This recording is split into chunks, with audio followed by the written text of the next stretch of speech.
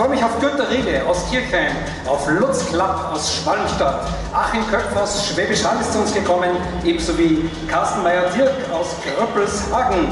Herzlich willkommen, Daniel Kolisnek aus Karlskron bei Ingolstadt. Armin Barth aus Wadhausen ist ebenso hier wie Ralf Mack aus Angelbachtal. Holger Schmidtke kommt aus Lübeck zu uns. Armin Krüger aus Wadhausen, das war ein Fehler von dir zuerst. Markus van Houten, Stolberg. Franz Schumacher aus Dietzingen. Václav Teibart aus Göppingen. Manfred Voss aus Schabolz, da kommen die Herren. Und Simon Roppel aus Schupfert in der Schweiz, ebenso ja wie Sepp Köppel aus Gams in der Schweiz, Daniel Brentli aus Urtenen und herzlich willkommen Christian Corradi aus Andelfingen in der Schweiz. Guten Abend.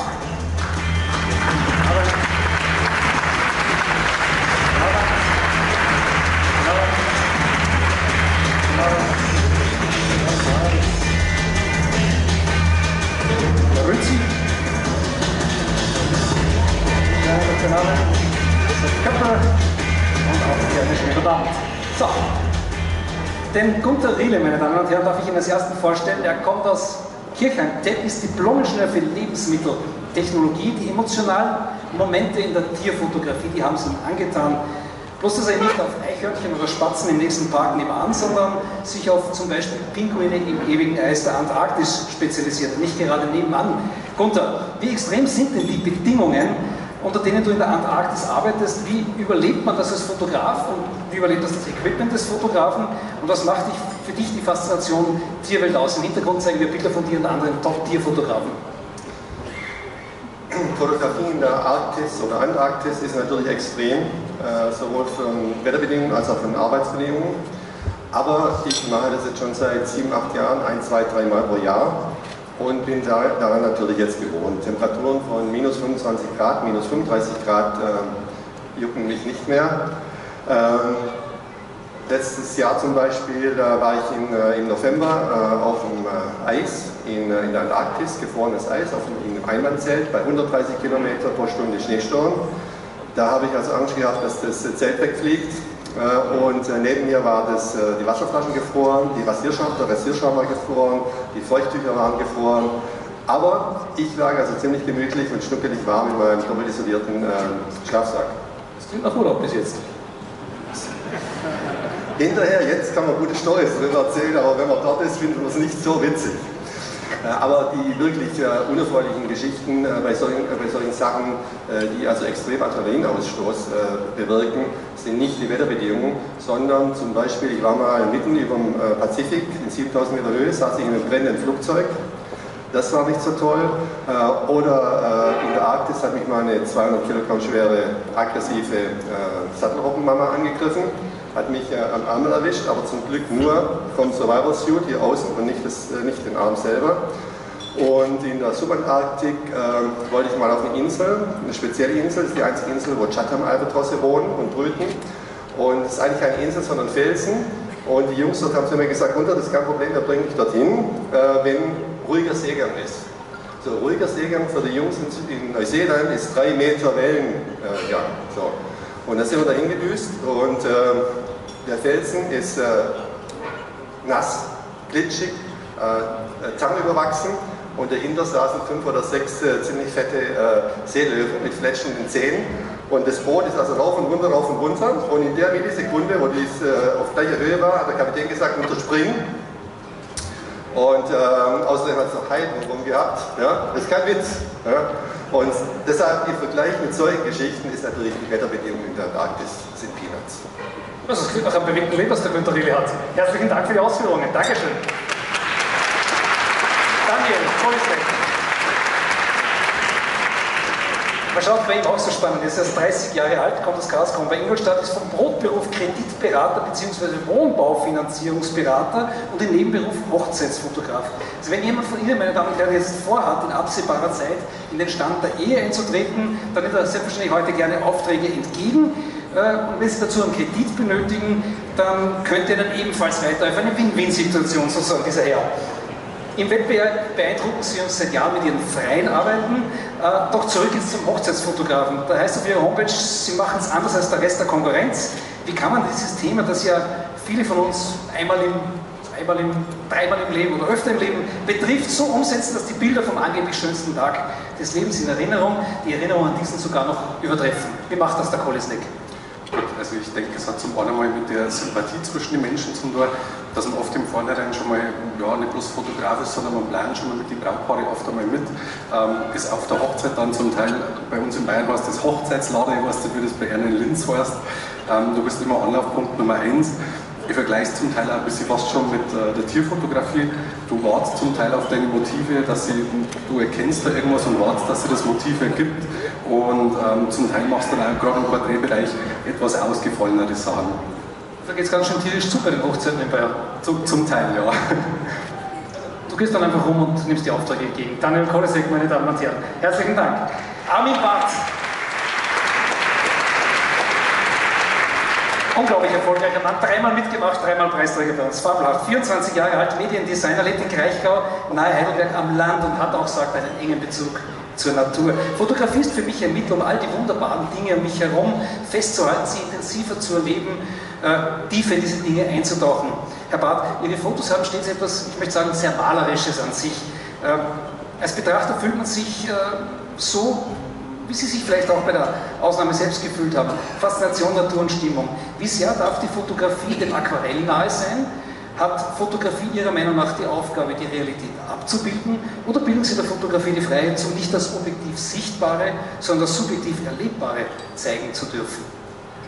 Wie Sie schon gesagt haben, also äh, für mich ist wichtig, ähm, so ein bisschen die, die Betrachter so ein bisschen mit ins Bild mit reinzuholen. Also Gefühle spielen eine große Rolle. Ähm, mit welchen Mitteln das dann geschieht, wenn das dann so ein bisschen mit ins, ins Aquarell, in die Malerei ein bisschen äh, reindriftet, dann nehme ich das so ein bisschen als Kompliment, als Stilmittel und äh, das ist so das, was ich versuche, also die Menschen mit reinzunehmen in die Faszination für die Leidenschaft, meine, meine Gefühle, meine Faszination mit in die Bilder mit reinzunehmen und äh, das hoffentlich mit zum Betrachter zu transportieren. Eigentlich ist Fotografie das Übertragen von Emotionen so ansteckend machen, ne? In vielen Bereichen, ja. Also es gibt Bereiche, wo man das außen vor lassen sollte, aber ich denke, in unserem Bereich ähm, ist das quasi so eins der, der Mittel, das ich auch versuche mit, mit zu transportieren auf jeden Fall.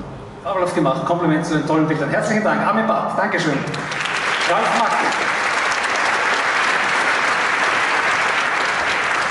54 Jahre zum zweiten Mal bei der Grabe, vor einigen Jahren war es schon einmal der Fall, Inhaber einer Werbeagentur und noch nebenbei Fotograf mit Studio, ist ein Verfechter der genmanipulierten Bilddarstellung. Meine Damen und Herren, das finale Ergebnis hat für ihn nur noch marginal mit dem zu tun, was sich der einst vor der Kamera befand.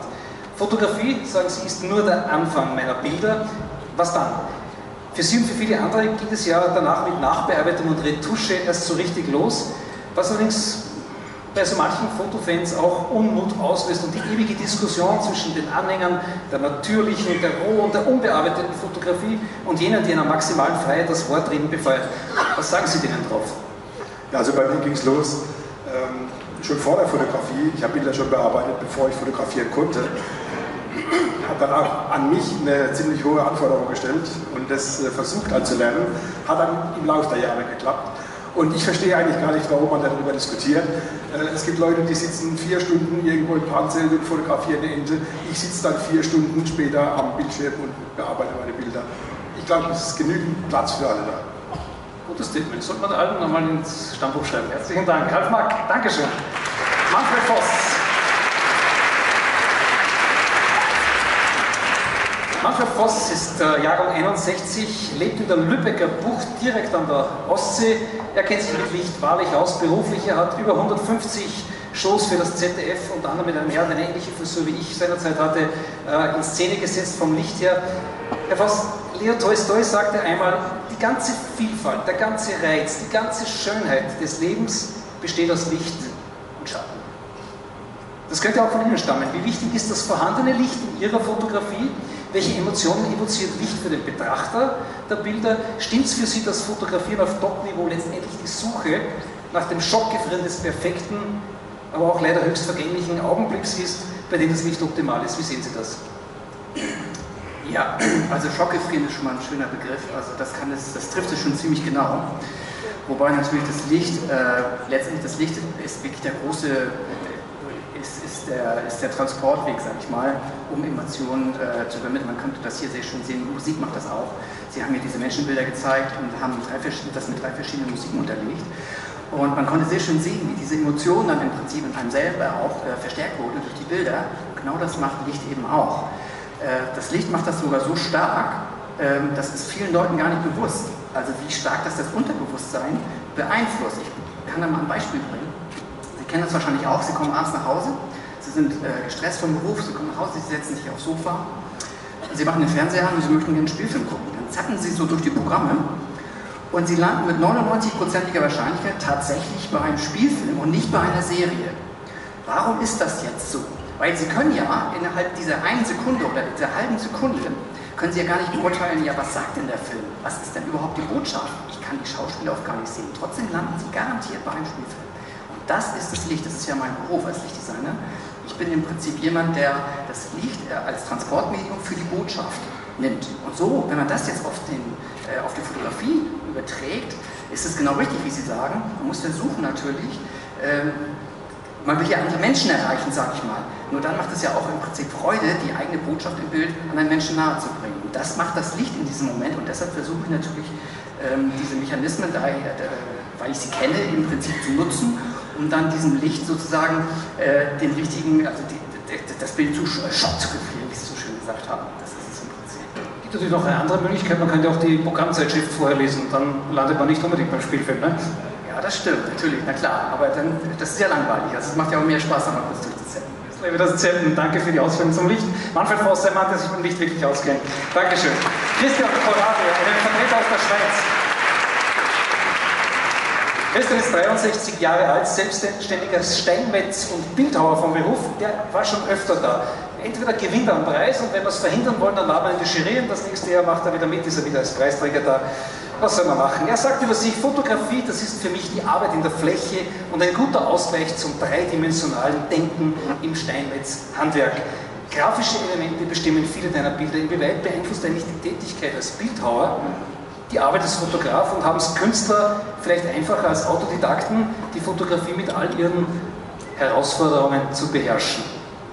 Also als Bildhauer entwerfe ich irgendetwas, danach wird ein Modell hergestellt und dann wird das, dann wird das Ganze in Stein rausgehauen.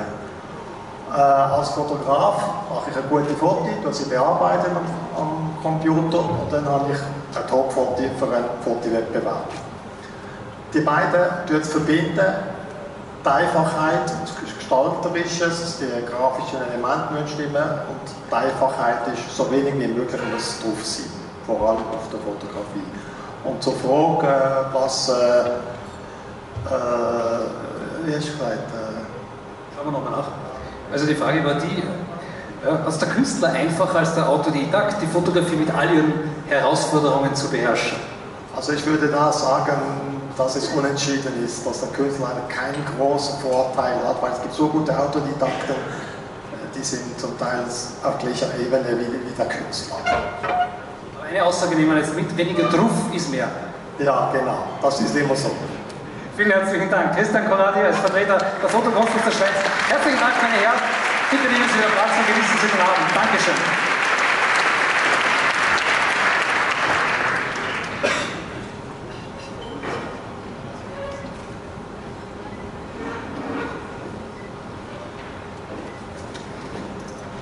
Thema, meine Damen und Herren, ist so fotogen wie das Lebenselement Wasser. Ob süß oder salzig, ob Bergsee, Wildbach, die Gestade des Ozeans. Wasser hat die Künstler und auch die Fotografen stets zu Höhenflügen verführt. Nichts, nicht anders ergeht es jenen Fotografen, deren Werke sie jetzt erleben. Leinwandfrei für Wasserwerke.